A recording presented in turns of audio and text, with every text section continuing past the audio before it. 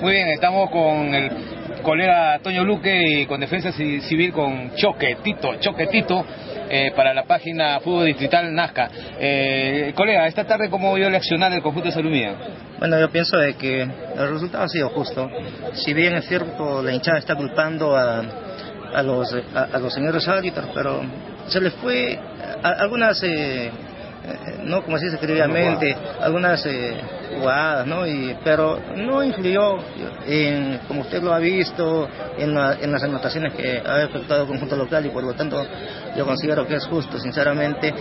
Lo censurable creo que es la forma como han accionado los hinchas impulsados por el presidente, ¿no? Porque hemos visto al presidente ahí atizando para que se vea lo que ya todos ustedes han podido observar es una lástima, ¿no? Y, considero yo, como, creo que todo el público deben ser ellos eh, castigados drásticamente, ¿no? Porque acciones como esta lamentablemente no se pueden permitir, porque simple y sencillamente eh, lo único que se consigue con eso es manchar el fútbol ¿no? de esta parte de la región.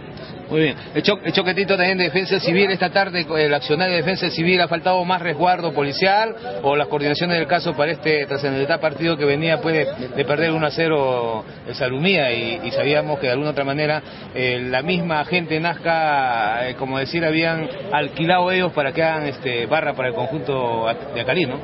Bueno, sí, efectivamente eh, hoy, antes de llegar eh, aquí al escenario, yo había conversado con el señor Mario Montes, eh, que este era un partido de alto riesgo, y lo ha sido.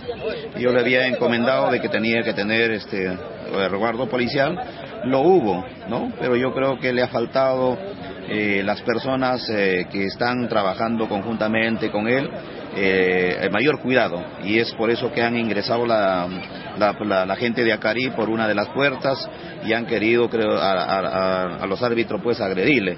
Eh, se le recomienda para, la para los próximos encuentros, él tiene que ya diseñar un croquis, eso lo vamos a, lo vamos a conversar, lo vamos a conversar con él eh, para poder eh, no dar una mayor seguridad. Yo creo que eh, de lo que se ha visto ha estado bien, sino que el accionar del público es más que todo, ¿no? Un poco que eh, de repente por la derrota que han tenido, pero eso no significa de que tiene que hacer unos demanes, ¿no? Y hacer quedar mal a, este escenario deportivo que es el 12 de noviembre.